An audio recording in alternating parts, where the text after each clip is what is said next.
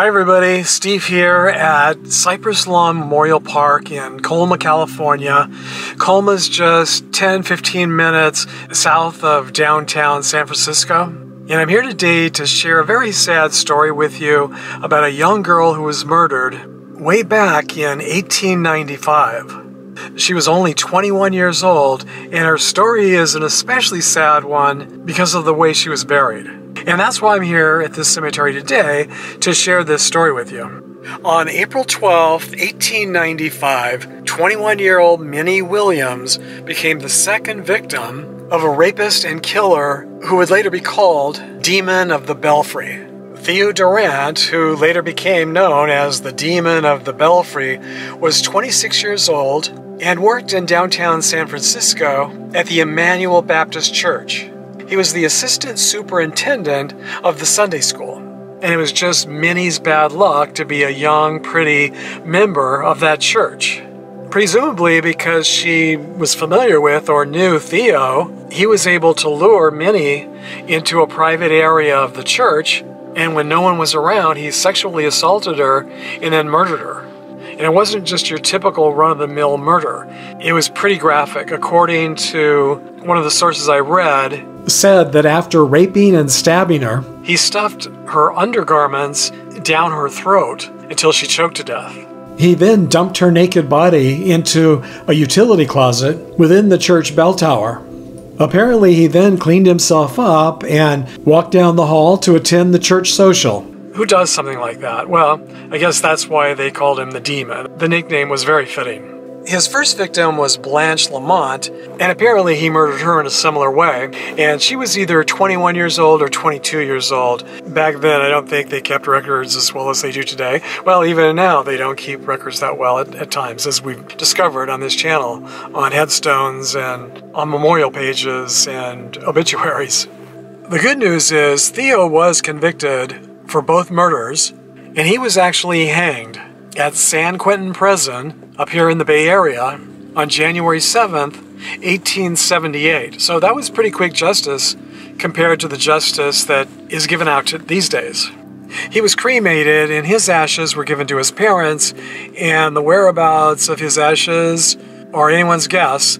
I was interested in finding out the final resting place of the two victims.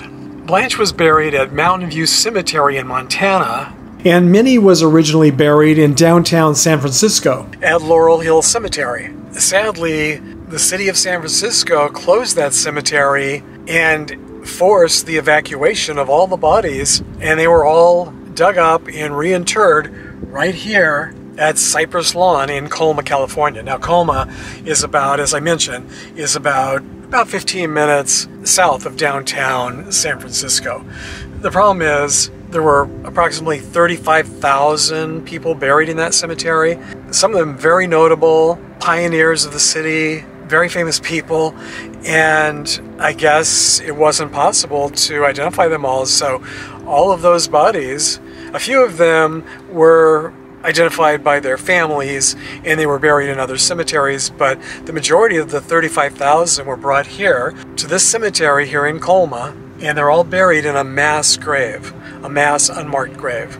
There is a memorial, a very nice memorial, a very large, nice memorial to this mass grave honoring the dead of Laurel Hill Cemetery that were moved here. One of those 35,000 grave sites belonged to Minnie Williams. So not only was she brutally murdered, but now she's laid to rest in an unmarked grave. It's very windy, but I'm going to try to read you a little bit of this memorial plaque. It's very long, but it says Laurel Hill Memorial to commemorate the California pioneers.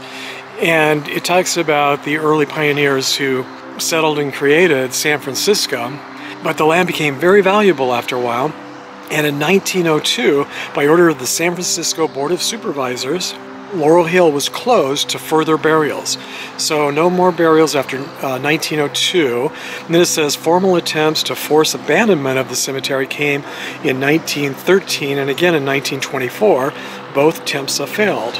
In April 1937, the San Francisco Board of Supervisors, for the third time, passed an ordinance demanding evacuation of Laurel Hill so its land could be converted to housing and street development.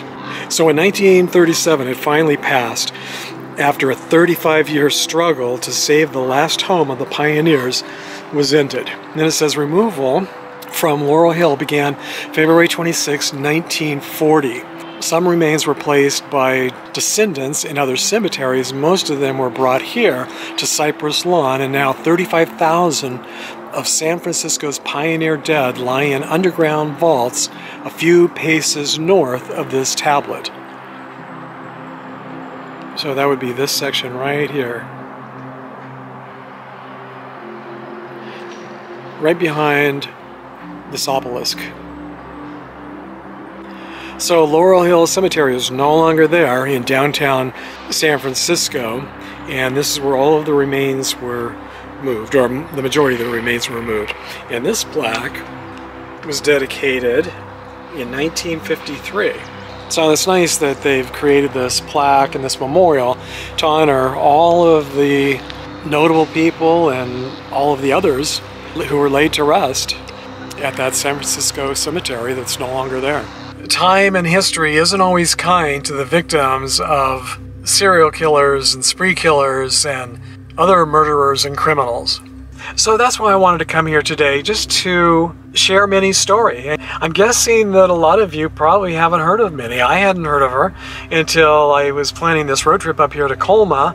When I discovered her story, I thought, well, she's definitely someone that deserves to be remembered, someone that I would like to, to know a little bit more about. And someone that I would like to share on this channel with all of you. I know you like to remember the people who are sometimes forgotten over time. This week, I want to thank my newest Patreon supporter, Brenda. Thank you, Brenda, for your kind donation to my channel.